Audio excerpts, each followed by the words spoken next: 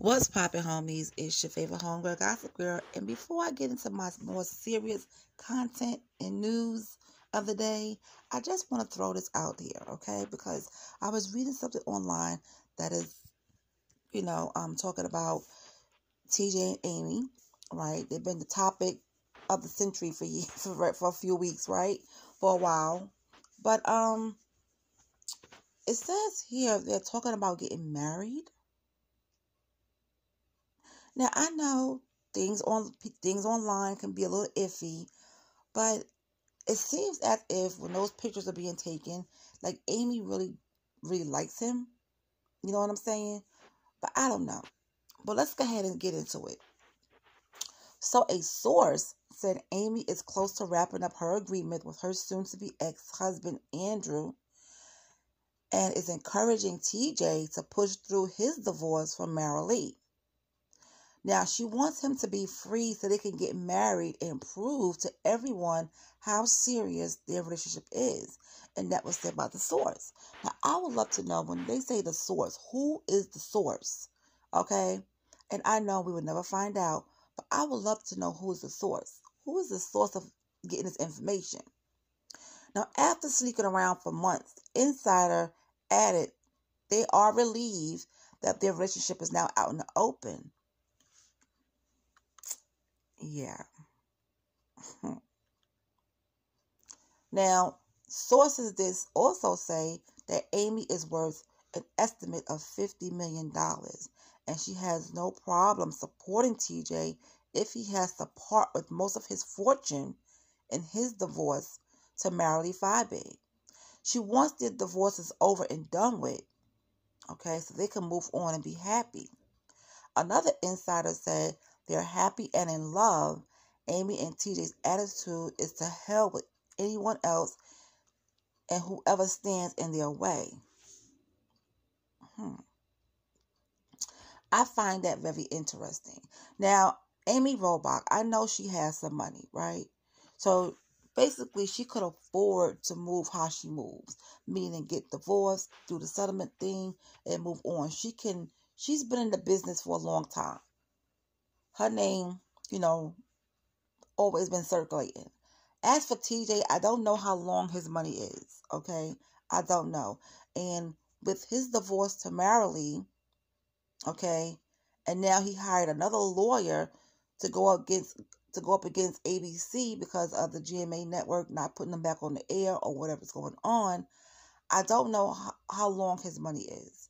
He may have a good penny, you know, a good penny, but I don't think it's anything compared to Amy's. Right? So I just don't understand this. This man has been married twice. If that if it's true, and if he does marry Amy Robach, this would be his third marriage. But the thing is, can he remain faithful to Amy Robach? And I know she has some dealings out there too. She's no saint, okay? But here's the thing TJ Holmes was married to Amy Ferguson, right? I don't know when they got married, but they ended their marriage in 2007, right? 2010, three years later, he married Marilee Fiebig. Now I don't know long, I don't know how long they were dating before they got married. They have a nine-year-old child together. His first marriage, they have two children together. Okay. Now, 2016, I believe, he was messing around with Natasha Singh. And they had a three year relationship. Okay. A three year relationship while he was married to Marilee. Marilee found out about this. She decided to stick beside him and work out the differences to re- reconcile, you know, to work on them, getting back to being a couple, a family, and so on. Here it is now. He's on to the next with Amy Robach. And they have been messing around for a while before him and Marilee separated and before this whole divorce thing. So it just seems to me his track record is not good. He doesn't have, it's not a good look. And Amy Robach, if it's true that she wants to marry him, does she really think that he would be faithful to her? I mean, do he think that she could be faithful to him? See, I always used to hear my grandma and my mom said, you know, the way you got them is the way you lose them. And it is some truth to that. You know, it is some truth to that. But my thing was concerning is okay, do you think this marriage will work? Do you think the marriage between Amy Robach and TJ Holmes will actually work? I don't know. I'm not going to say yes. I'm not going to say no. But I do want you guys' opinion. If I, I'm going to say this, it will work up until a certain point, until the thrill is gone. Maybe the excitement is over when no one else is talking about them. They no longer the center of attention. When everything dies down, I think they may have some some trouble. You know what I'm saying? But you don't have to marry each other to prove that you're in love. You know, so I hope for that marriage thing, whoever this inside source is, I hope for that marriage thing is just talk for right now. But we'll see. Because it won't be the first time somebody got married after they divorced their spouses. Okay? Especially in the news network. If you know, you know. Okay? So yeah, that's what I want to talk about real quick. Nothing major. So what do you think about it? Do you think the marriage between Amy and TJ will last? Do you think that all his cheating ways will stop once he marries Amy Amy Robach?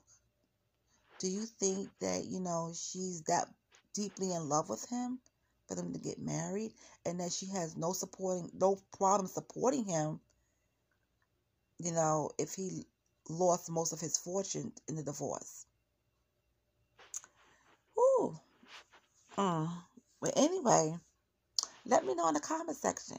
And listen, if you want to be rude in my comment section, I will delete your comment and I will just block you. Because there's no need to be rude.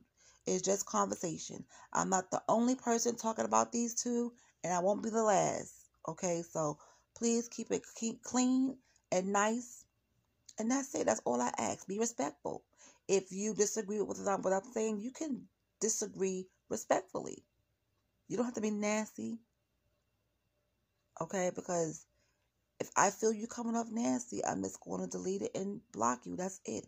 I'm not arguing with nobody in the comment section. I don't do that. All right. But yeah, I just want to throw this out there today for right now. And then later on, I got some stuff coming, you know, that we need to really talk about that is important, okay? So you guys have a good one, and I'll talk to you later.